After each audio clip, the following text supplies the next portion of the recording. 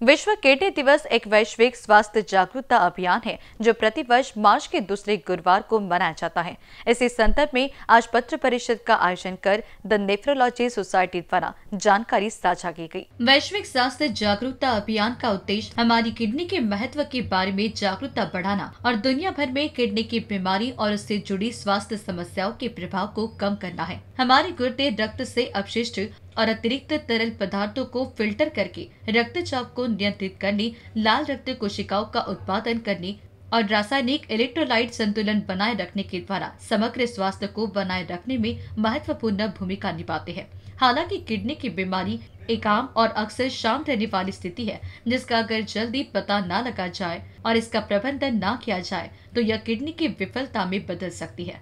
विश्व किडनी दिवस की संकल्पना हर साल अलग अलग होती है, लेकिन आमतौर पर किडनी के स्वास्थ्य के विशिष्ट पहलुओं को बढ़ावा देने पर ध्यान केंद्रित किया जाता है, जैसे किडनी रोग की रोकथाम, शीघ्र पता लगाना, उपचार या प्रबंधना, विश्व किडनी दिवस पर आयोजित गतिविधियों और कार्यक्रमों में शैक्षिक अभियान, स्वास्थ्य जाँच, धन उगाने वाले कार्यक्रम, वकालत के प्रयास और सामुदायिक संपर्क कार्यक्रम शामिल हो सकते हैं। मार्च महीने के दूसरे गुरुवार को हर वर्ष जो है वैश्विक किडनी दिवस मनाया जाता है और इसी उपलक्ष्य में हम आज बातचीत करेंगे डॉक्टर मोनाली शाहू इनसे मैम, क्या बताओगे कि कल जो है वैश्विक किडनी दिवस मनाया जाएगा उसके जागरूकता के तौर पर आपकी ओर से अभियान का आयोजन किया गया है, क्या बताओ वही, हम लोग ये चाहते हैं कि ये जो वर्ल्ड किडनी डे है, इसके अवसर पर लोगों ने समझना चाहिए कि ये क्यों मनाया जा रहा है।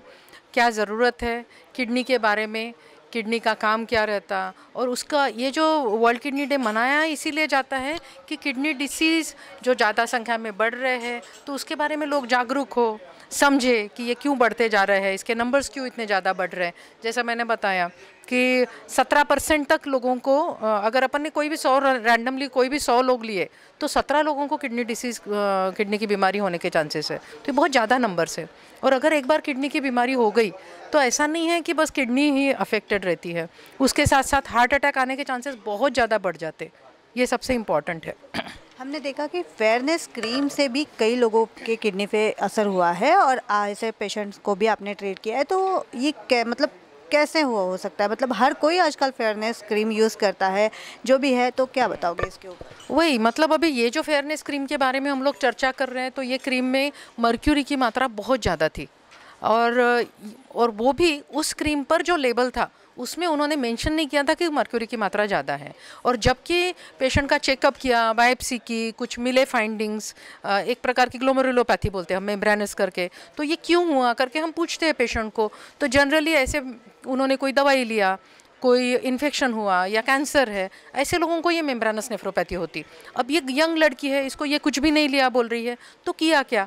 क्यों इसको हुआ? इसलिए हमने और ज़्यादा डिटेल में पूछा तो पता चला ये कोई क्रीम इस्तेमाल कर रही। और वो क्रीम के ऊपर कुछ भी मैंशन नहीं था कि इसमें कोई ऐसा हैवी मेटल मर्क्यूरी वगैरह है। फिर भी उसको जब एनालिसिस के लिए भेजा, उसके यूरिन का एनालिसिस किया ब्लड का और क्रीम का एनालिसिस तो कई गुना ज़्यादा मर्क्यूरी की मात्रा मिली है, जो कि बहुत ही डेंजरस है। मर्क्यूरी ने किडनी को भी असर किया था यूरिन में बहुत ज़्यादा लेवल में मर्क्यूरी जा रहा था और अगर इसको हम अरेस्ट नहीं करते टाइमली दवाई नहीं देते, उसको रुकवाते नहीं तो हो सकता है कि वो पेशेंट किडनी फेलियर में लैंड होती, उसके ब्रेन पे भी असर होता और बाकी अलग कॉम्प्लिकेशंस होते। तो हमने देखा कि वर्ल्ड किडनी डे के अवसर पर जो है द नेफ्रोलॉजी सोसाइटी की ओर से एक अभियान जो है, जागरूकता अभियान का आयोजन किया गया है। कैमरा पर्सन राजकुमार मोहर के साथ मैं Kshitija Deshmukh B news Nagpur. Camera person Rajkumar Mohat के साथ क्षितिजा देशमुख की रिपोर्ट।